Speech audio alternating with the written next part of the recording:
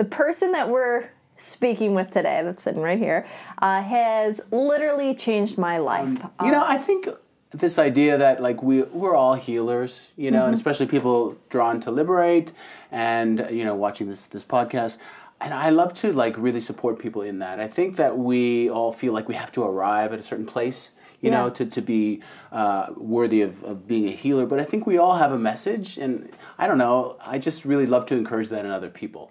That, yeah. you know, we're never there, we're never totally fully arrived, and then it's okay right now, today, to like step up and just do what you can to help people in whatever modality you know you want to use. Yeah, and and for the people that aren't practicing healers, but are mm-hmm. the ones you know coming in to work on themselves, being present to wherever they're at, and yeah. how much they can uncover in that moment, right? Right, and and people are healing in different ways too, right? Music, yeah. writing, um, in their job, and whatever they're doing, there's a way to always be of service, and I yeah. think uh, it's yeah, it's a great place to be, and I feel finally.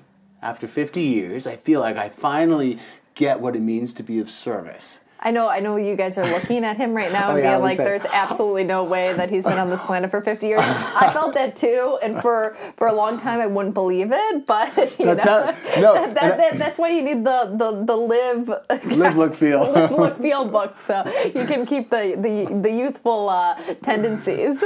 Well, thank you, and I didn't do that for you know a little ego thing, but I just realized, like, I just I guess again that message of like it's never too late yeah. And we're all on a journey, and I don't know, for some reason, I didn't figure out, you know, that whole. I think it was more me, me, me for many, many years because mm-hmm. we're all trying to survive and make things work. And I don't know, it's nice just to be at a place where, wow, I yeah. really wake up and I want to help people. Yeah. And I don't know, that feels so good to me. It's like a huge shift, and I, I think breathwork uh, is the reason I had that like that huge shift. So I mean, probably about 25 years ago, I went to a healer who did some breath work. Mm-hmm. At the time, I didn't really know what was going on. I was lying on a table doing some deep breathing. Okay. And then I was sobbing, hugging a teddy bear, right? like I'm talking, sobbing. I don't know what was coming out of me. And I'm like, whoa, whoa, that feels good and, and I saw her for a, a bit. I know what you're thinking. Wait, wait, that how that feels good. No, trust me. Like when you really let out a deep cry, if you haven't, yeah. and you've been holding yourself back, it feels good after. It does. It feels so good. Okay, so you're hugging the. Yeah, and then I moved out of Toronto. I'm from Canada, and uh, you know, so I couldn't see her anymore, and I just continued on different healing, uh, a different healing journey, trying different things, and then had a little bit of rebirthing, which is another style of breath uh, which was really powerful. And then just about three years ago, I went mm-hmm. to a small uh, men's group that was doing breath work. Okay. And I didn't really want to go. Friends like, you know, just come on. And so I went, and am I ever glad I went? It was like one of the most powerful, life changing experiences for me. Wow. Sweating, cold, um, you know, chakras popping open, lots of emotion, things that, you know, I wasn't really expecting. And I was hooked so I started to do it daily, started to go to classes, and then studied with a couple of teachers.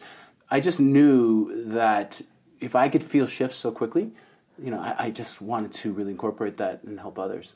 That's that's magical, and you know, I always say that it's one of the first, it's one of the most powerful things that any skeptic of whether we have energy or energy centers or that we are energy, you know, uh, that if you go and you do a breath work and you do it right, mm-hmm. you're gonna feel things like you never felt anything before.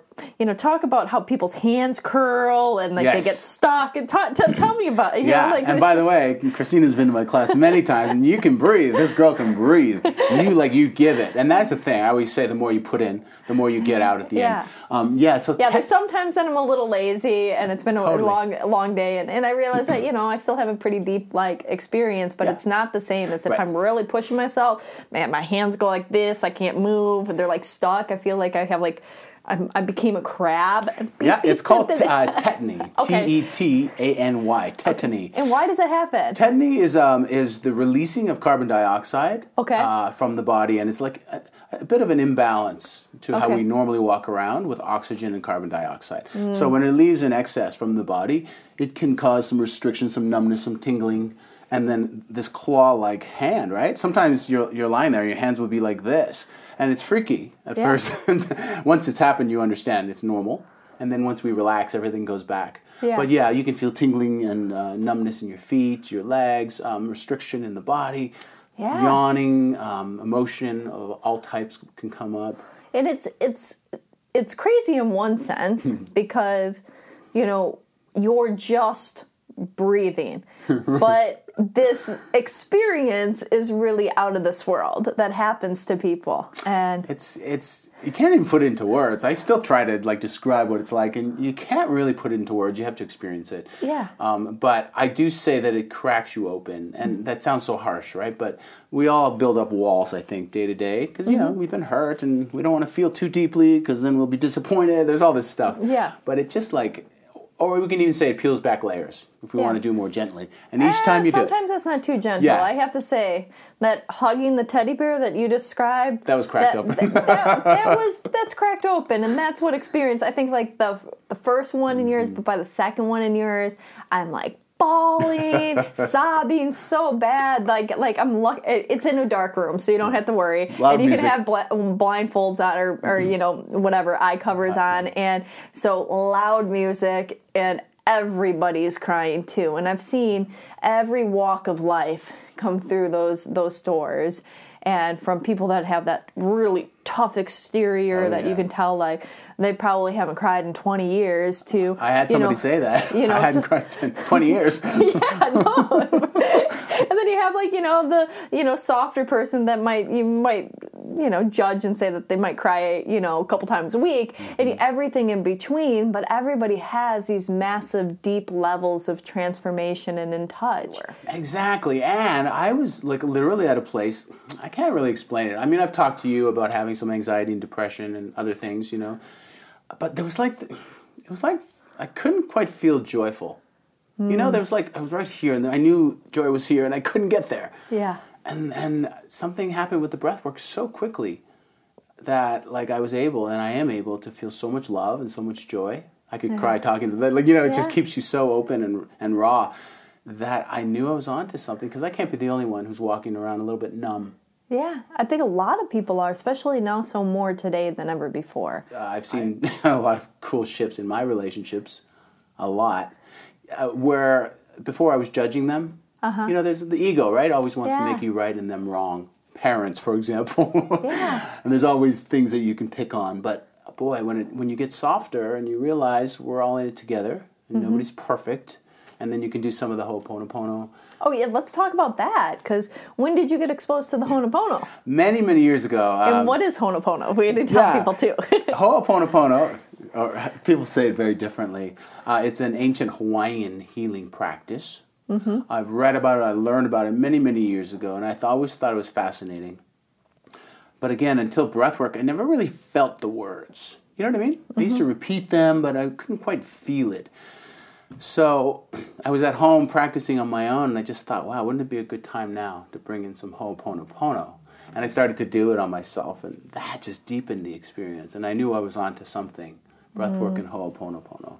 yeah Um, and so it's been around thousands of years in, in Hawaii. It's like a family, they often use it in families to help um, merge and mend relationships. And um, it basically stands for correction. okay In, you know, there's different descriptions to it. You're like correcting a situation. And Yeah. so there's four phrases I love you, I'm sorry, please forgive me, and thank you.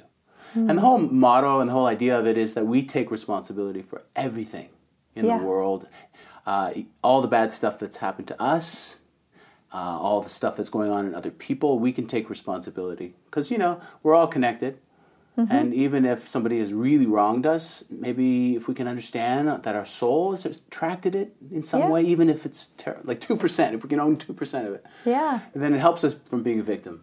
There's you take that honopono and you have Mm-hmm. people apply it to their self Mm-hmm. to their mom to their dad to different experiences and you do take it a step further you don't just have it be the four phrases but you take Yes. the principle of it Yeah.